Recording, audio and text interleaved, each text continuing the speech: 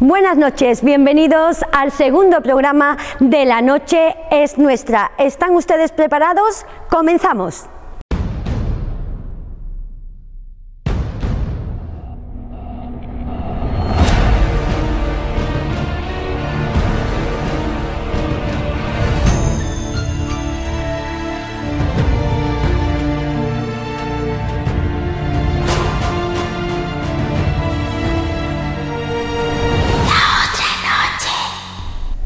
La otra noche.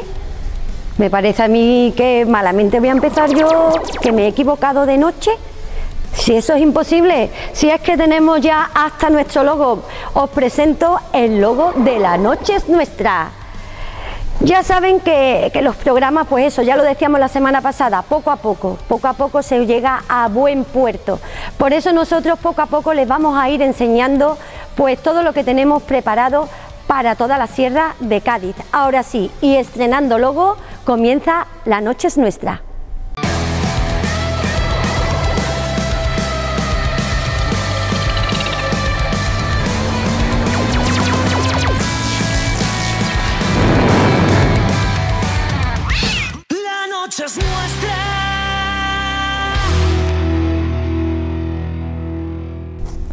Bueno, y ahora, ahora sí, fuera la broma, pero estén atentos porque la otra noche mmm, va a estar aquí su sombra, así que no se pueden perder el programa de hoy.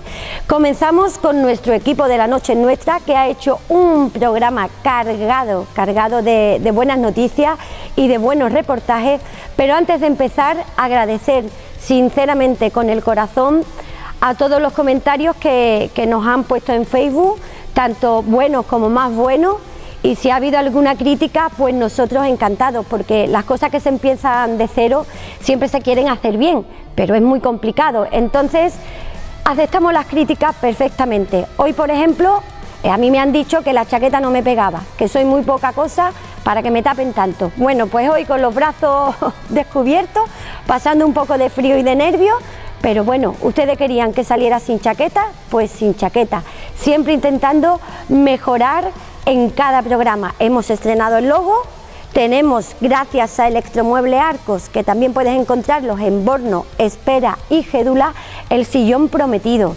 Y no saben ni se pueden ni imaginar quién va a ser el primero que va a estrenar nuestro sillón que nos ha cedido Electromueble. Lo vamos a dejar ahí. Es un espacio que tenemos mirando al pasado que es espectacular y ese sillón es una persona muy querida en Arcos de la Frontera. Lo vamos a dejar. Eh, la semana pasada decíamos que, que íbamos a estar conociendo lo, los reyes de la comarca de la Sierra de Cádiz y eso es lo que vamos a hacer. La semana pasada conocíamos los de Villamartín y en esta nos vamos a ir hasta Bornos. ¿Por qué? Pues porque ellos van a vivir una de las noches más mágicas de su vida.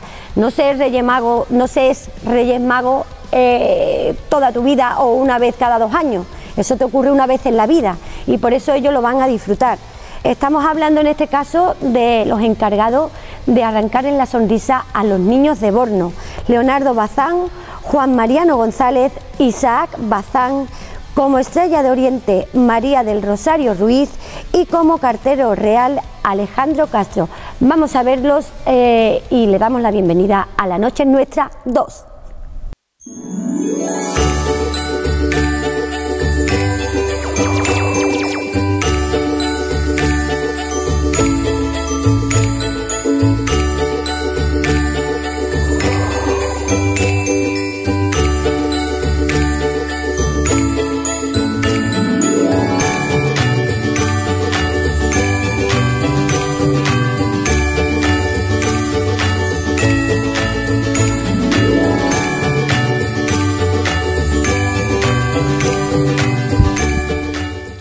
Bueno, pues estamos aquí hoy para hacer la presentación de los representantes legales este año de, de Sus Majestades los Reyes Magos.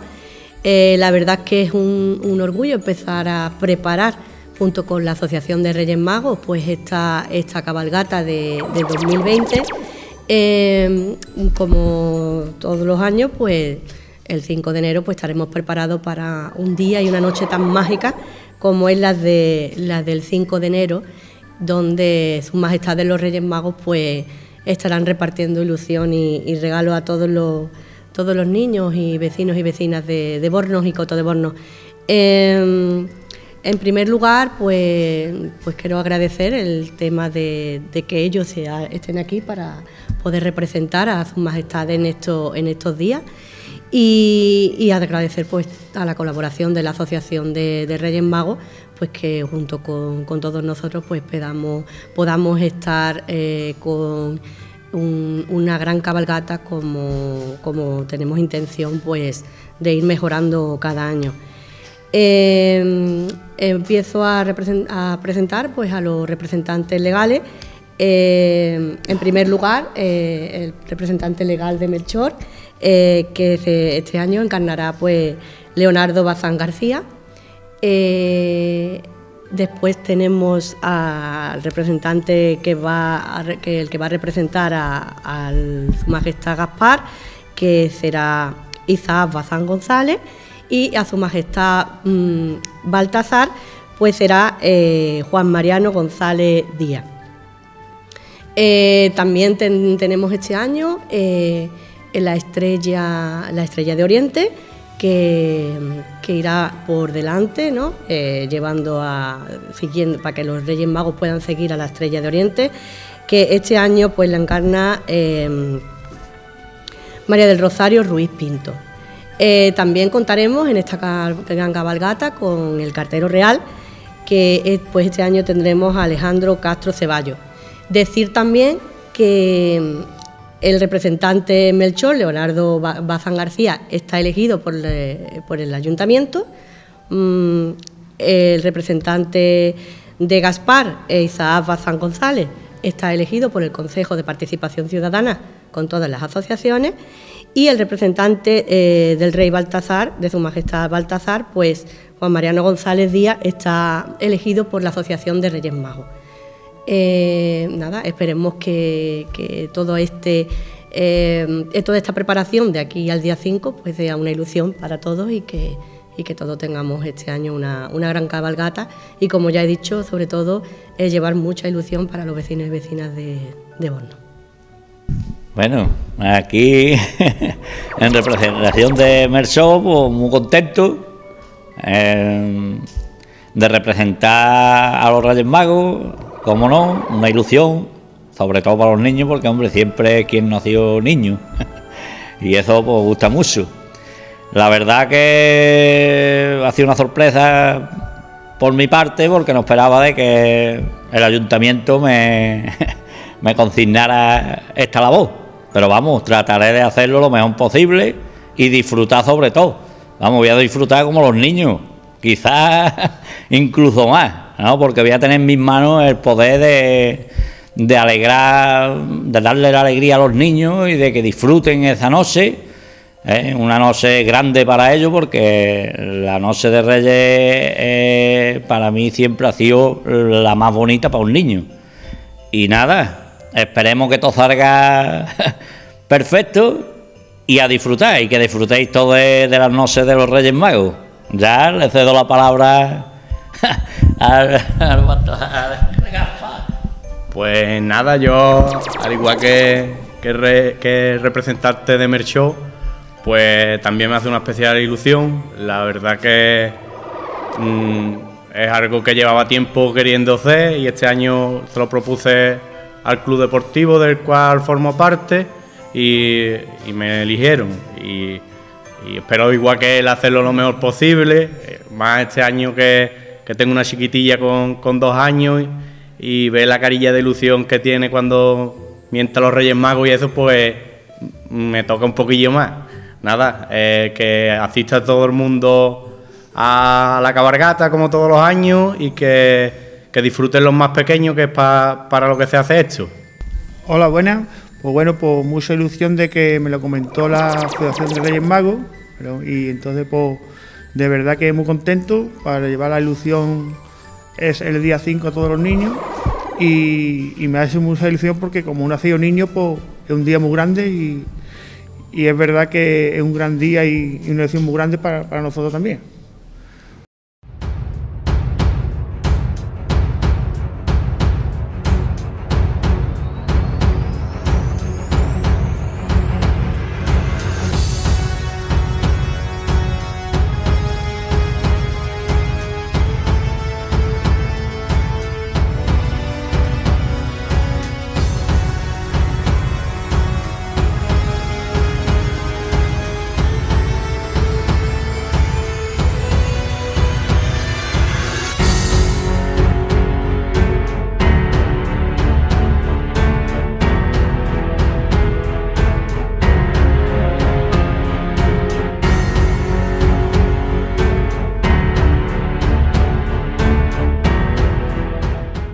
Bueno, y después de disfrutar y de ver y de conocer a los tres Reyes Magos de la localidad de Bornos, llevamos dos semanas en la noche nuestra con Reyes de Villamartín, Reyes de Borno, pero yo ahora ya necesito aquí una reina como Dios manda.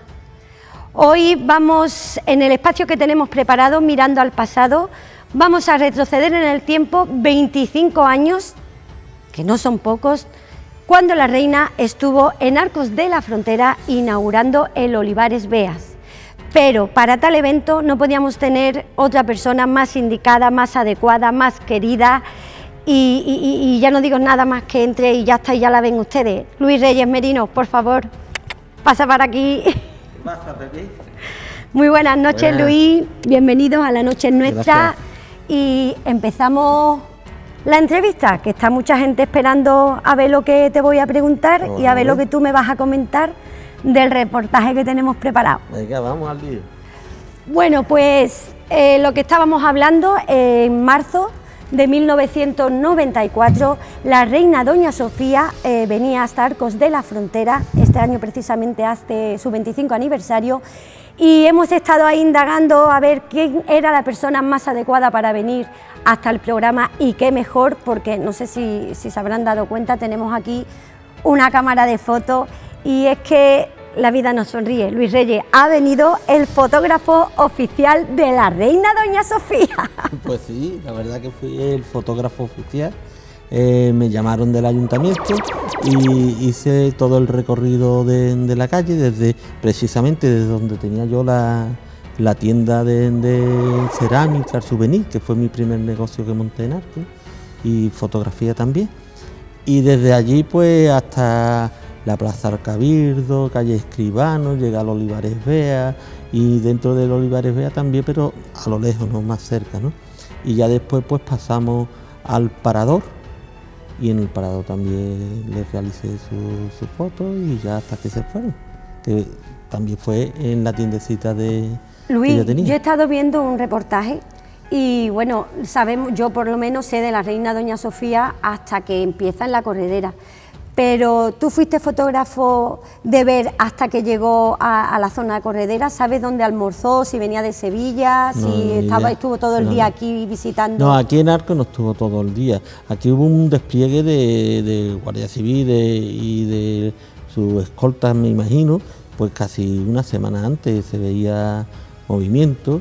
Eh, recuerdo que las piletillas las miraron por la mañana, el día antes, todas las piletas esas que hay en las calles.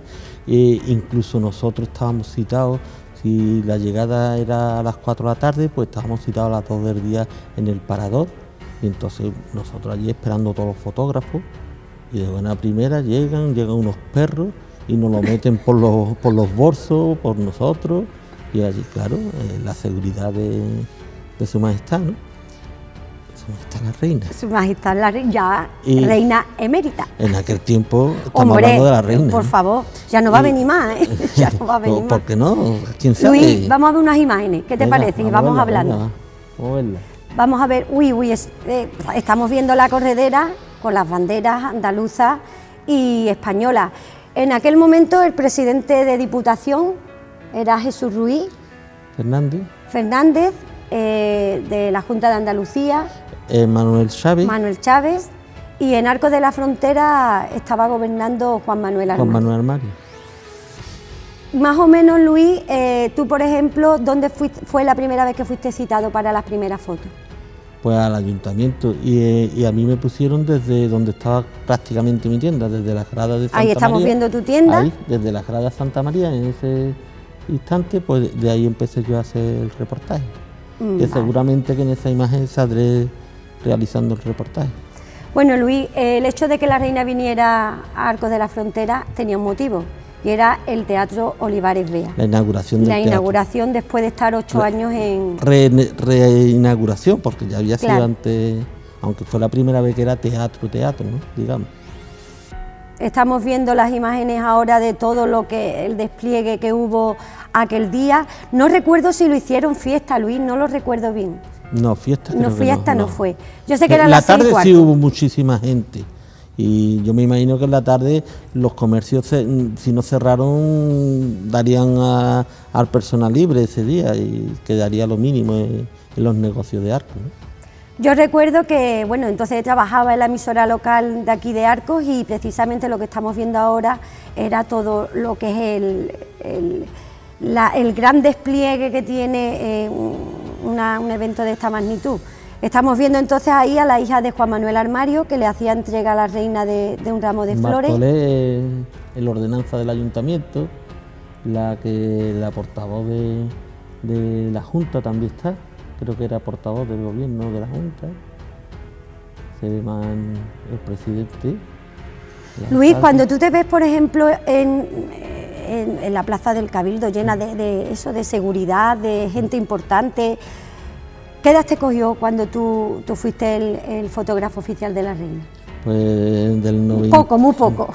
92. en el 94. 94. Quítale unos cuantos también. 94, pues, pues 30 y. La década, la década. Tú di la década. en la década de los 30 y poco. Eso entonces, Luis, ver el pueblo volcado, ver también que, hombre, todos los días no sé fotógrafo oficial de la reina, no, ¿eh? No, que va, que va. Y mira, ahí estoy yo, en la esquina.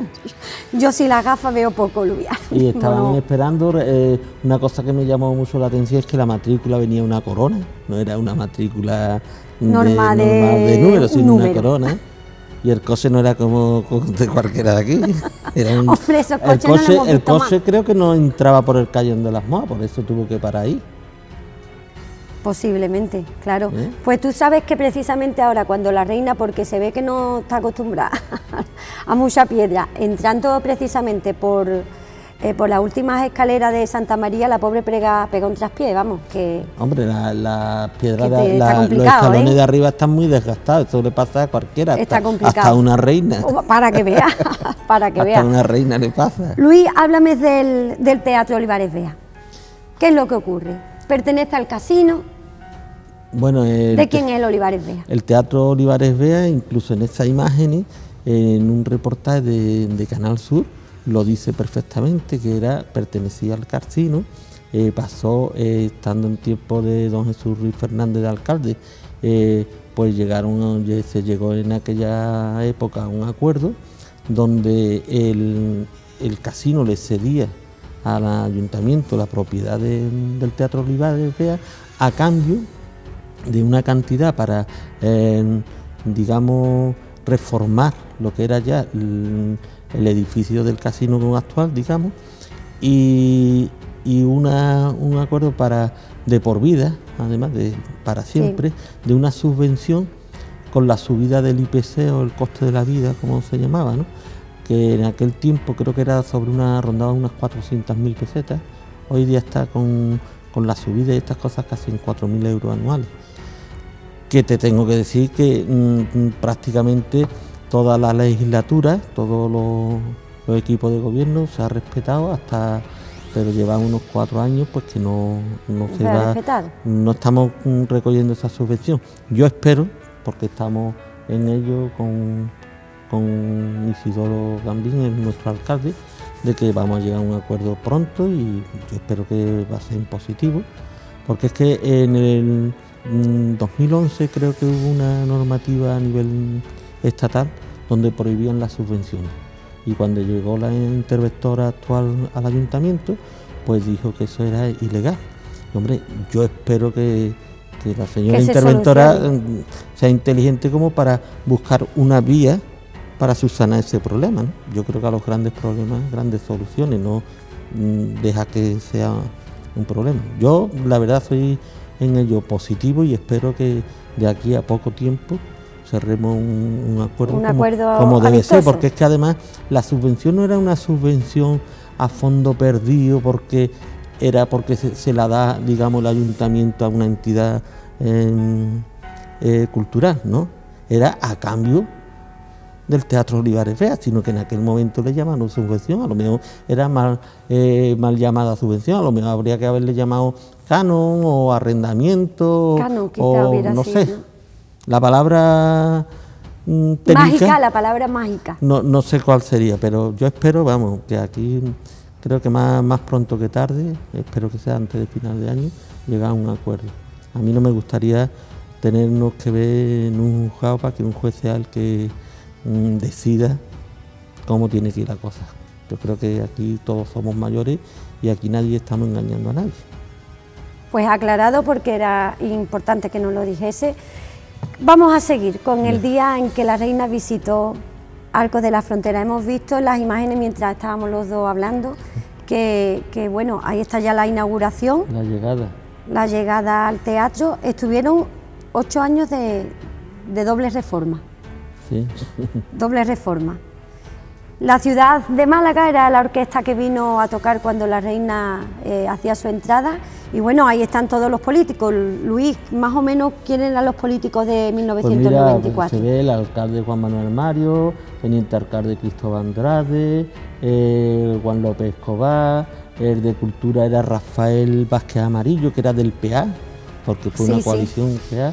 Está el farmacéutico mm, que estaba en la corredera, y de Alfonso. Y de Alfonso Guerrero. Guerrero, eh, Maripepa, que además recuerdo que todos iban en oscuro y Maripepa iba en blanco. Y después, a, lo- a los pocos años, hicieron una chirigota a Pepe Olivera y, y se vistieron muy bien. Iba uno, ahí Maripepa. ¿no? ¿Eh? Y, Juan Se, Ramón se saltó el, Morales. se saltó el protocolo. Sí, Juan Ramón Morales, Juan Jesús eh, Jaén de Gédula. Eh, así que pasa Mucha gente, mucha gente conocía, mucha gente conocía. Y de la Junta pues está Manuel Chávez, eh, mm, también la señora que era portavoz me parece, que no me acuerdo que la he visto ahí ahora mismo, Manolo Breni también. Y, y creo, creo que también estaba Benito Huerta por Gédula, pero no sé lo que pasó, que creo que le cedió, o no quería venir al acto y le cedió a Pepa Caro para, Para que fuese. para como concejal. Algo de eso quiero recordar. No, no lo quiero confirmar porque no lo recuerdo bien. Pero después hablando, porque yo creo que salía Pepe y digo, Pepa entonces no, no estaba en política, por lo menos Metía, municipal, metía. ¿no? Y, y- y creo que fue que Benito Huerta de Gédula, creo que le cedió su, su puesto para que estuviera ella, me parece. ¿eh? No quiero, si me he equivocado, ha sido un- en un La- comentario creo que me dijeron algo de eso. Otra cosa, Luis, ¿tú crees que el teatro se está aprovechando lo suficiente o se quedan ahí huecos al- a los que se le podría sacar? Mira, el teatro, te voy a contestar muy sincero. Siempre Hombre, claro, a mí- a mí- No, no, y es que, y muy clarito. En, el teatro siempre ha pasado una cosa aquí en Arco, y pasa en el teatro, pasa en, San Miguel, en el salón de exposiciones, pasa en, en el salón de Don Víctor Marín, que hay una exposición, ¿eh? y todo el mundo nos enteramos, y todo el mundo sabemos que tenemos todos estos recintos que son culturales y tal, ¿no? pero después asistimos muchas veces muy poca gente a visitarlo. ¿eh? Ahora eso sí, esto es como que no me lo quiten. Tú dices, Mm. vamos a cerrar esto, vamos a cerrarlo, ¡ah! ¿no? Pero la verdad, y gracias a Dios también por la cuestión de que lo está el, el grupo de Entretelar Teatro, creo que Sí. hay otro grupo más ahora, pues mm, se está haciendo todos los años bastante actividades y las presentaciones de libros, mm, el- los colegios también lo están utilizando, el flamenco y, y la verdad que se le ha estado dando bastante útil. Que a veces, mm, y yo, yo a lo que asisto están yendo gente, ¿no? Y más en comparación a, a otras veces que había teatro que yo iba, que iba poca gente, porque yo es que mm, vivo del Al teatro lado. al lado. Del murete allí lo que hay son siete minutos andando bien despacio, como yo solo andar, yo no ando muy ligero, ¿no? Y, y, y lo que Sí, te- porque lo vamos a decir, lo vamos a decir. He quedado con él una hora, no voy a decir la hora, y me ha dicho, déjame media hora porque yo voy a salir a esta media hora más tarde. Sin contar, bueno, que está perdido. La última calle del polígono que quedaba por visitar. me he recorrido todo el Te has polígono. ¿eh? recorrido todo el polígono. Y ya la te he llamado y te digo, escucha que estoy aquí. Y, y resulta que estaba en la calle paralela de la trasera, ¿qué voy a hacerle? Bueno, para que ustedes no se despisten, es en calle Marie Curie, número, bueno, nave número 10. Ya, ya hemos dado con el localizador, hemos dado con él. El Luis- nombre es raro, ¿eh? Marie Marie Curie. Curie. Curie, bueno, pues yo, ¿sabe Luis? Yo la semana pasada me tiré todo el programa diciendo Madame Curie y Madame Curie. No me enteraba yo que era Marie Curie. Marie Curie, eh, yo creo que era una científica. Una científica, una científica, sí, sí. Además de las importantes, ahora no sí. me acuerdo, pero que te lo tengo que decir. Y era importante en Y el marido más. Pero, pero ya estoy en la edad que se me, que se me olvidan las cosas. Pues ya sabes, no te lo digo para que lo no, veas. yo sé lo que sé lo que es. Vale, no te lo digo para que tú lo, lo busques y lo digas luego. Luis, vamos a seguir. Dime. Vamos a ver, nos hemos quedado en que, bueno, más o menos se le ve que se le está dando al Teatro Olivares Sí. Bea bastante... Pero que casi desde el principio fue costando poco a poco, pero yo creo que el Teatro Olivares Vea ahora incluso se traen actuaciones en acústico, como se dice ahora, de, de artistas de renombre, vienen en acústico que es con su guitarra o con un- dos músicos, tres nada más, y la verdad que siempre hay lleno, normalmente en la- las entradas se agotan todas. ¿eh? Eso, hombre, hay un aforo que creo que máximo son 210. A veces los colonitas a los lados se pueden meter 225, 26 personas más, no. ¿Tú crees que los vecinos del casco antiguo, defensor y, y- y- y vamos, y llevando arcos e- e- en, su corazón, ¿tú crees que lo- los vecinos del casco antiguo tienen el Olivares Bea como un tesoro? Quizás más que No, yo- otras yo, barriadas creo que los vecinos del casco antiguo no lo tienen como un tesoro. Lo tienen todos los vecinos de Arco. No todos los vecinos del casco antiguo. Los del casco antiguo y los de Arco. El, el- el te- Teatro Olivares Vea, a pesar de su desgaste desde que se inauguró hasta ahora, eh, la misma reina cuando lo vio dijo, esto es una cajita de bombones. De ¿eh?". Porque es que eh, es, es muy coqueto. Todos los que vienen de fuera cuando ven el teatro se quedan de lo recogido que es y, y que es bonito. A lo mejor habrá que retocarle algunas cosas. Pero vamos, eso siempre con buenas miras se hace y, y retocarlo como cualquiera. Hay que retocar. Hay que retocarse. Todo, todo se deteriora, hay que retocar y ya está. Y cuando te he hecho esa pregunta es porque, a ver, mm, hay gente todavía en Arco que no ha visitado el Olivares Vea. Pues ellos se lo pierden. Pues, ¿qué te digo? Porque, la- eh, mira, ayer precisamente fue la presentación del cartel de Belén Viviente. Dentro de unos días será la presentación del cartel de la Navidad. Si no es allí, será en San Pedro. Pero mm, ahora hay representaciones eh, de cosas de Navidad. Hay un teatro ahora esta semana que viene también. Y tanto verlo como ver las actuaciones que vienen, ya sea teatro, flamenco, eh, presentaciones de libros. Mm, El sábado Pedro Sevilla presenta su libro. Su libro. Que vamos, que actividades hay. El que no, el que no el quiere es porque no porque quiere quiere, o no le interesa. Que a todo el mundo no tiene por qué interesarle. Ellos se lo pierden, lo que te digo, ¿no? Yo creo que yo paso muy buenos ratos en el Teatro Olivar Real, tanto viendo teatro, disfrutando de flamenco, disfrutando incluso, recuerdo cuando Radio Arco hacía la- lo- los programas allí en directo, se hizo también unos años eh, por parte del periódico, creo que era los galardones a la ciudad, a, a gente de Arco, De que Arco, se sí, sí. votaban y cosas de estas. Eh, las escuelas de flamenco han pasado por allí, las escuelas que habían de, arco, el colegio Las Nieves lo ha utilizado muchas veces, la guardería infantil cuando Carmelita lleva a sus niños allí también los finales de curso. Eh, es que el teatro se ha hecho infinidad de cosas. ¿Tú crees que Arco, con todo lo de cosas que han nombrado, ¿tú crees que Arco, se está quedando an- viejo? Una población que ya no, no incita a hacer cosas nuevas. Es que ¿Lo tan- ves un poco...? Es que Arco y, la, y, y ahora mismo los momentos que se están viviendo no son muy agradables y, y la gente lo ven todo muy negativo. Yo es que tengo la manera Claro, de sí, pensar que sí, me levanto sí. y pienso en positivo siempre. También me llevo muchas veces muchos palos cuando veo que en positivo te queda y dice, ajá, y ¿no? Pero cuando tú vas de frente y ves la vida en positivo, yo creo que Arco tiene mucho que sacarle. Y con poquito trabajo, con buenas ganas, mira, y una de las cosas que tenemos, que con, poniendo buenas ganas, viene todo el mundo, el día 14 el Belén Viviente. El Belén Viviente.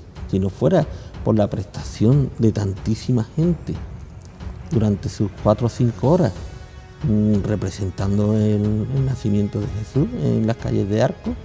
¿Y cuánto costaría 400 figurantes? durante cinco horas. ¿Cuánto costaría por lo menos 25, entre 25 o 30 personas según eh, el tiempo para hacer el montaje que se hace? ¿Cuánto cuesta los camiones de arena que se llevan, todos los decorados que se montan? Ahí hay su voluntad porque a veces hasta los mismos trabajadores echan más tiempo. Más tiempo. Y, yo creo que es una aportación de, todo el mundo. Y, yo creo que eh, Arco se le puede sacar más poniendo voluntad. Voluntad. Porque es que hay un momento, a mí me tocó, y ahora que estamos hablando de cosas esas, yo es que eh, cuando estuve de concejal, goberné en unos momentos muy buenos. Muy buenos. Había mantequita, como se dice, y con manteca se hace todo muy fácil. Lo difícil es hacerlo cuando la cosa cogea, Y con esto no quiero defender a los que están ni a los que no están. El que se mete ahí, se mete con ganas de hacerlo también bien. Lo que pasa es que a lo mejor cuando llega no hay todo el suficiente dinero y todo el movimiento, o hay muchas pegas. Y en todas las cosas de esto hay que tirar y su entonces a lo mejor se mosquea el personaje, pues, hay un tiempo que el personaje se pone en contra de lo que se hace. Eh, se llegan a los acuerdos y ya otra vez viene la bonanza, ¿no? Y esa es la vida. Cuando hay se gasta y cuando no hay, pues hay, que apretarse el cinturón. Y ya está. Eso es lo que hay. Bueno, tú has dicho el Belén viviente, ¿no se podría poner otro día, por ejemplo? Para que no haya ese, porque por ejemplo yo te puedo decir que yo hace años que no voy. Mira, mm, te lo digo así, cuando el Belén fuese pagado, por ejemplo, pues se puede poner un día, dos días, tres días, pero cuando es desinteresadamente todo el mundo, donde llevan sus comidas, les gustan ofrecerle a la gente los, los pestiños, los chicharrones, esto, lo otro, y cinco horas, eh, yo es que mm, soy uno de los figurantes, y cinco horas parece que no es poco, pero cinco horas, y, y, como la noche está un poquito de frío, con cinco horas, ¿eh? el que quiera que se ponga, y no es cinco horas solo, porque son dos o tres horas antes que si prepara, que si trae, que si, porque la escena no la ponen, digamos, a lo vasto y, y, tienes que aportar los, los utensilios, que a lo mejor los utensilios son grandes y tienes que ir a un almacén o a donde esté la, los, los enseres o los decorados, y a por ellos y traerlos o buscarlos,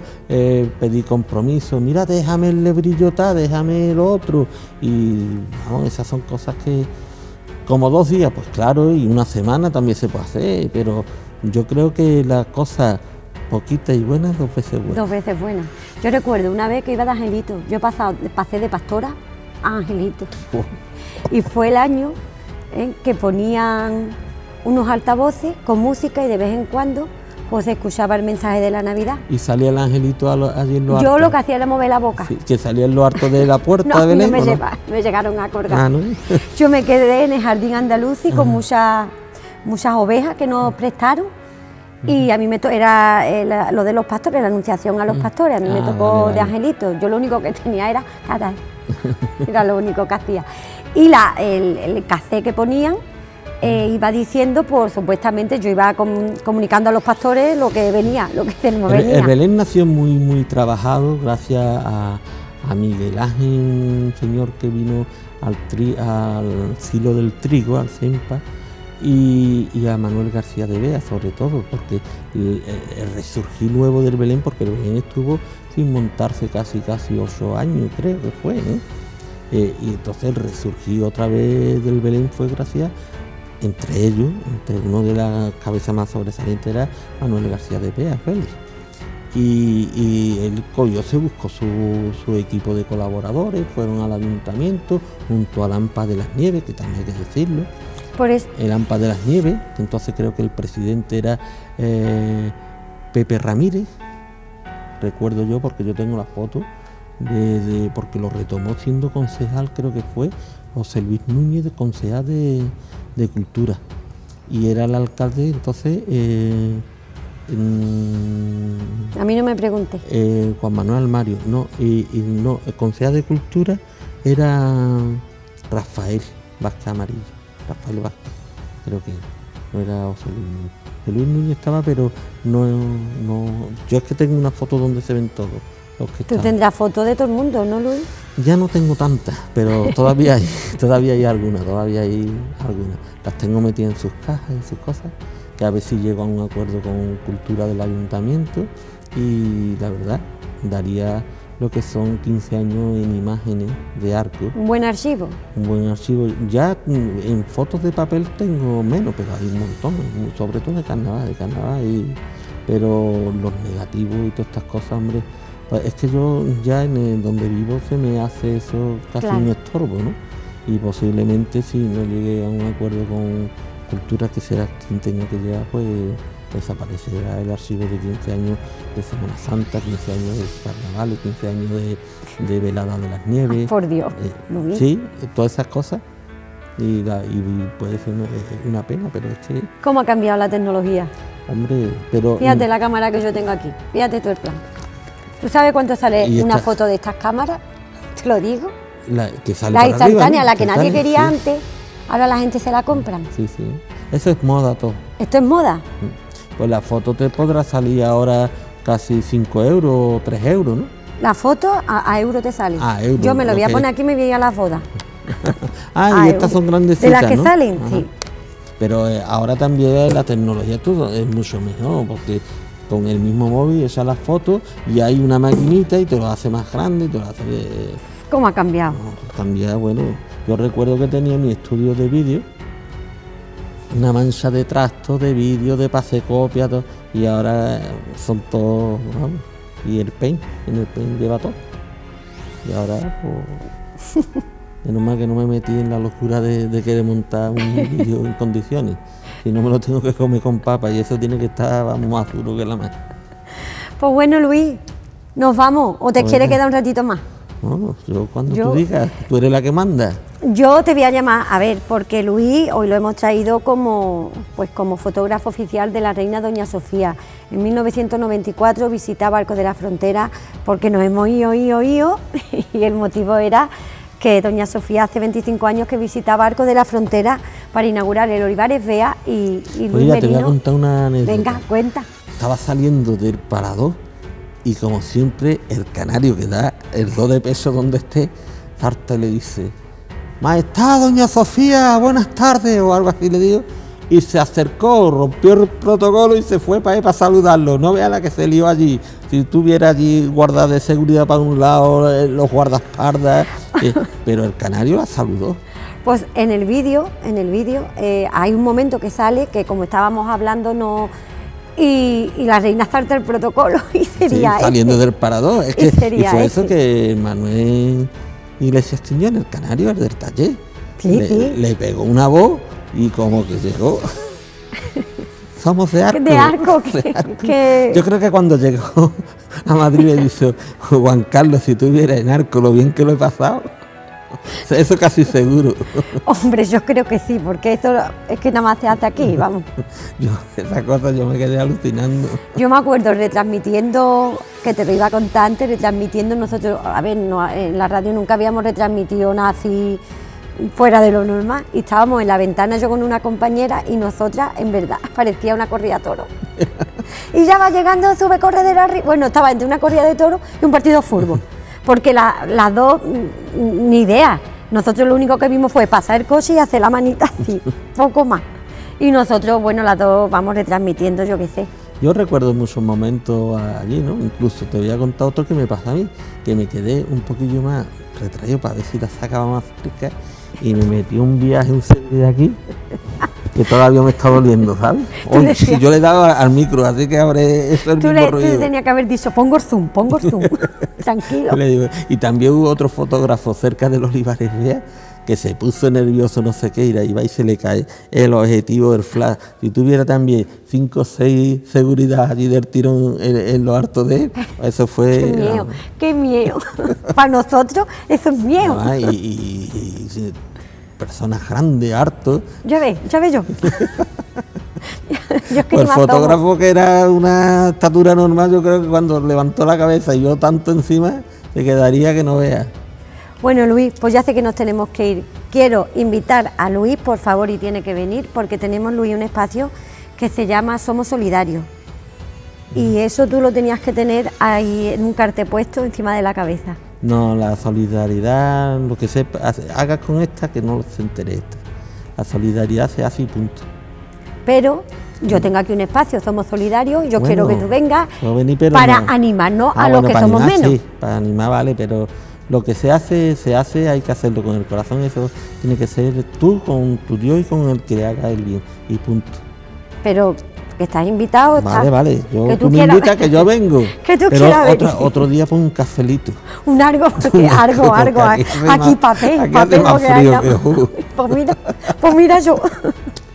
Bueno, Luis, que muchas gracias. Y si te he recibido de pie, te despido de pie Pues como vale, Dios manda. Venga, hijo. Estás invitado cuando quieras a la Yo noche vengo, nuestra. yo vengo. Aquí. Y te voy a quitar el micro, que te lo vas a llevar. No, mujer. Venga, pues muchas gracias. Gracias, Luis. Hasta luego. Bueno, y aquí termina el espacio de Mirando al pasado, año 1994, la reina Doña Sofía, y nuestro programa continúa.